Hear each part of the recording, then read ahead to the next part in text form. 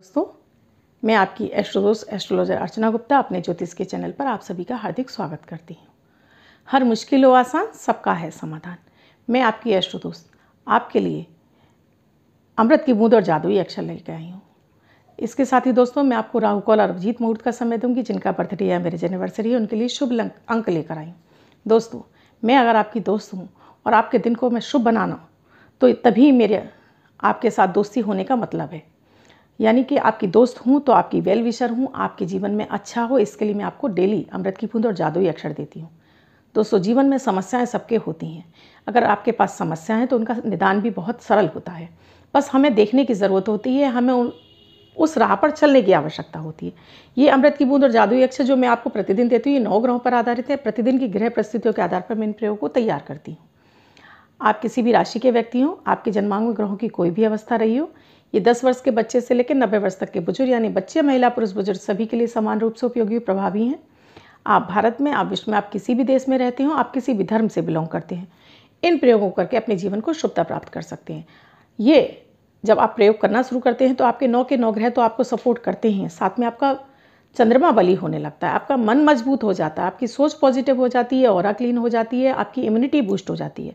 जब आपको इससे इतने सारे लाभ मिलने लगते हैं तो आप अपनी समस्याओं से शीघ्र ही बाहर निकल जाते हैं। आपके पास समय नहीं है, भाग दौड़ भरी ज़िंदगी में, तब आप ऐसे क्या उपाय कर लें जिससे कि आपका जीवन सुखद और सरल हो जाए? तो दोस्तों, ये मात्र एक एक मिनट के प्रयोग हैं, जिसमें ना समय लगता, ना कोई धन खर्च होता है।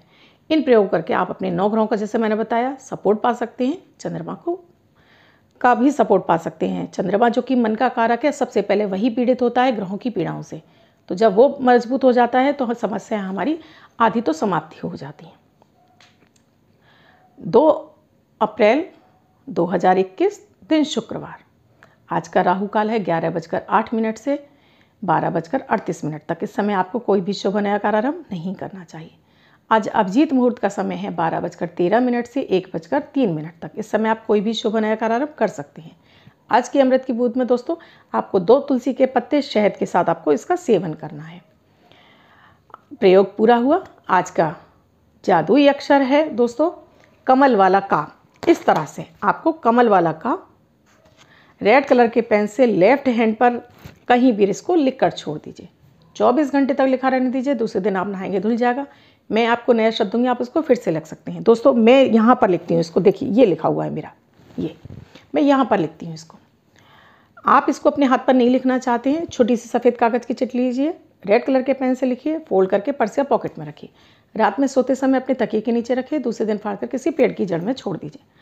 आप इसको अपनी मदर टंग यानी मातृभाषा में भी लिख सकते हैं, लेकिन प्रोनाउंसिएशन उसका का ही होना चाहिए। दोस्तों, आप मेरे ये प्रयोग कर रहे हैं तो आपको कैसा अनुभव हो रहा है, मेरे यूट्यूब के कमेंट बॉक्स में अवश्य लिखें।